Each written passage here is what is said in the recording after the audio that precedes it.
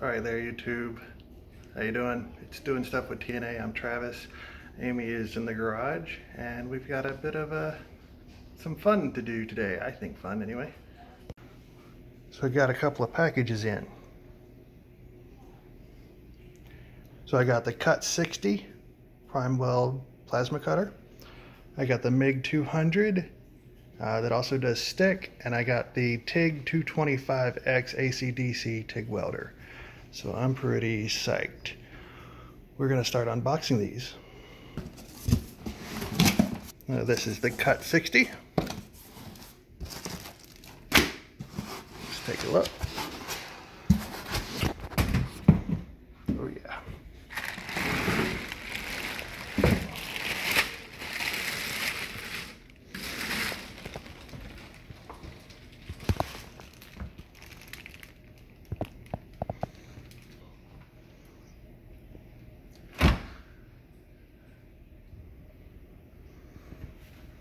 It has been a long time since I've worked with plasma cutters and welders.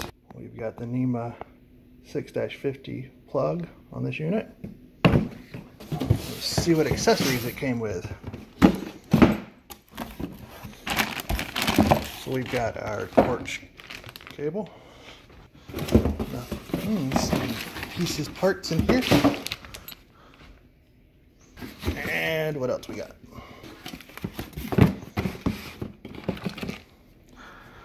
Nice size ground clamp, some pieces, you know, those cheap welding helmets, and a 110 to NEMA 650 adapter, and I'm not sure what that is offhand. That's everything in that box. All right, we got the manual. Now the reason I bought this unit is Primeweld's well-known three-year warranty over any other unit, and they're America-based I did look at buying Everlast, but being Canada based for parts, getting parts expensive, especially if they have to send you multiple things. So that's why I, in the end, went with Primeweld. Lots and lots of stuffs. Air pressure gauge, regulator, torch connector, uh, ground, amp control, air push, 2T, 4T trigger lock, airflow function, over current light, amp display. I'm just trying to see if they got something for all the accessories. The only thing I'm not seeing that I didn't see anywhere in here was the air hookup, air hose hookup piece. So I'm gonna need one of those we will move along to the next box. Let's open this bag, see what's in there. So, handle for the helmet, this brush, the plate, and I guess the back of that. So, nothing in there I need for the moment. That's what that other connector is. I'm not sure about that one. Gonna have to figure it out. Next box. Nice packaging.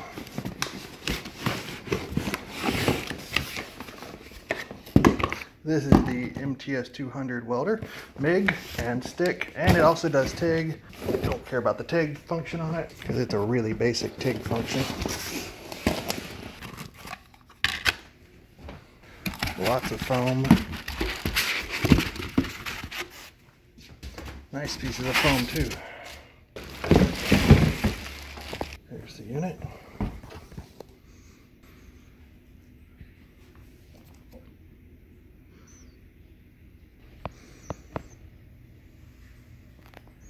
It also has a NEMA 650.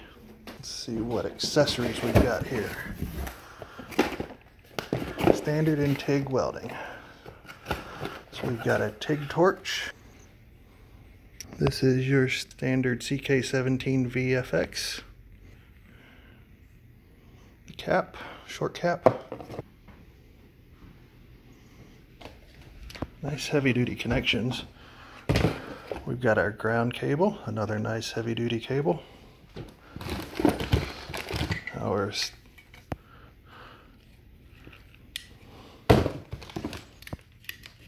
man that's a that's a pretty solid stinger. That's got a strong spring in it. We've got our NEMA 6-50 to 110 adapter again. Some hose connections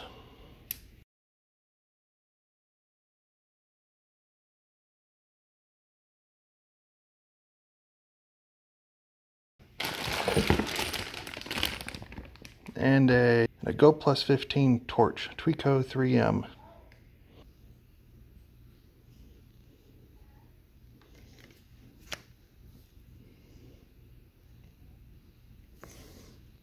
There is another tip in it.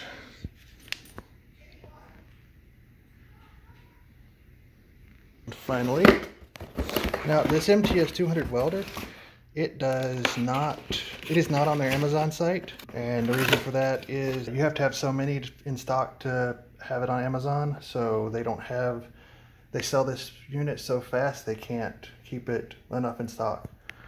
So you have to buy this one direct from PrimeWeld. But these others, the TIG 225 and the Cut 60, I did get off Amazon primarily due to the ease of returning them but also because I have a 5% back credit card. Regulator for, for your gas, and an adapter. I'm not going to be using that right offhand. I have some flux core. That's what I'm going to use to get started. Nothing else in the box. This is way more equipment than I need. Let me tell you what. I may have went overboard, but things were getting hard to get. All right, so this is the Primeweld TIG 225 ACDC. Also, very well boxed. There's quite a foam box there.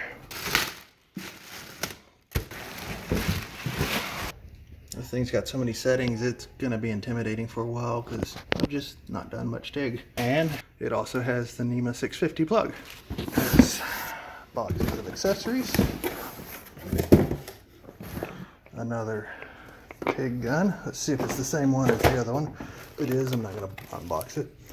CK1712S CK17V12. No, a little bit different. Let's see what's different. CK17FX. There's nothing different with that. CT CXTV no, the CK17FX. That's a CK17V. This is a CK17. I don't know what the difference is.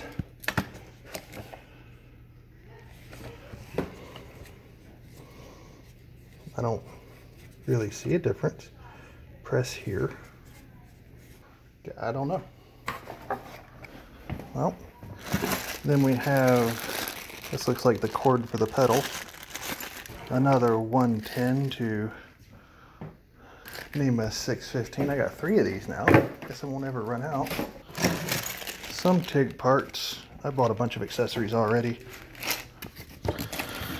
And another regulator. This one looks to be a little bit different. Another one of those helmets. These will be good for wheeling trail fixes. Put a strap on it. We got another ground cable. Another gas line. Another stinger. Apparently this also does stick welding. And the pedal. I guess that cable wasn't for the pedal. Don't know what that other cable was. Maybe Oh, this looks like a finger version of the, I don't know, to figure that out. It looks like the pedal, it's just different. So, yeah, we got quite a bit of toys here. Let's take them to the garage and we'll start with the MIG and the, because I don't have any gas. I do have, uh, do have air for the plasma cutter, but I don't have any gas for the MIG or the TIG. Do get puddles of gas, let's go play with the MIG. So I also picked up this ESAB, ESAB Savage A40 auto darkening helmet. Four sensors, true color, grind button, ergonomic headgear, delay, sensitivity. Let's take a look, see what we got. I've got two of these helmets, one for me, one for the wife. Some extra glass, quite a manual. Let's see what we need to do here. Remove film before using. It's got some lights for low battery. It's got the sensitivity and delay options right there. There's the grind button sensitivity options. Actually sensitivity and button for grind. That front plastic is just protecting the shield. That's a little bit scraped, but that's fine. Let's remove this film. I have to take it out to remove the film.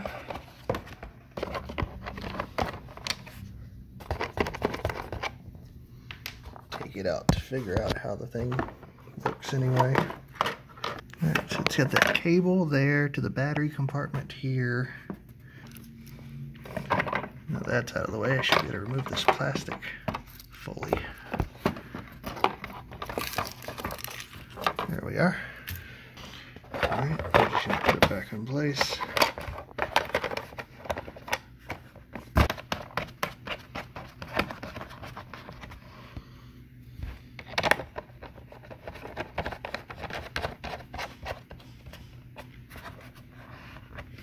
See if the battery is in it. There is a battery in it. There you can see pretty clearly. You can see pretty clearly through that without the helmet. With the helmet. Alright guys, so I'm going to go over some details of this MTS 200 welder. It will take both 2 pound rolls and 10 pound rolls. It has this adapter to use 10 pound rolls. So what you do is there's a nylon washer and then another little washer, then a spring, and then a nut. It comes with this already on. This cap unscrews, then you access the nut, and, and this is what holds the spool on. Then you take that off, then you can put this back on with the smaller spool. So what I've got is 0.030 flux core. So I need to put on this knurled roller. It comes with a 0.25, 0.3035 solid roller, a 3.0 and a 4.0 knurled roller, and then the roller that's in it, which I'm not sure offhand. And you can get, these are standard rollers, they said. You can get others. Has this little chart in here, tells you exactly what's what. Now, the MIG gun comes with an 030 tip already in it. They give you a second 03 and they give you, that's the second 03, and then they give you an 04. This little tool and this little tool. So I gotta figure out, think you take this screw off to get that. Um, just want to confirm before I try too hard. And if you've not done MIG welding before, you want the spool to unwind this way. So it should be feeding from the bottom into it. That way it doesn't flow like this and kink up on you. Here's a picture of the spool washer tab, washer, spring, and nut. Don't tighten these too tight. Most, everything here is plastic except for the spring. Even the nut's plastic, so be careful with that. The instructions also give you some information about how to connect. If you're using flux core, you want to connect the feed into the negative terminal. You want to ground positive, and then your MIG gun goes to here. Let's go ahead and do that. Feed negative.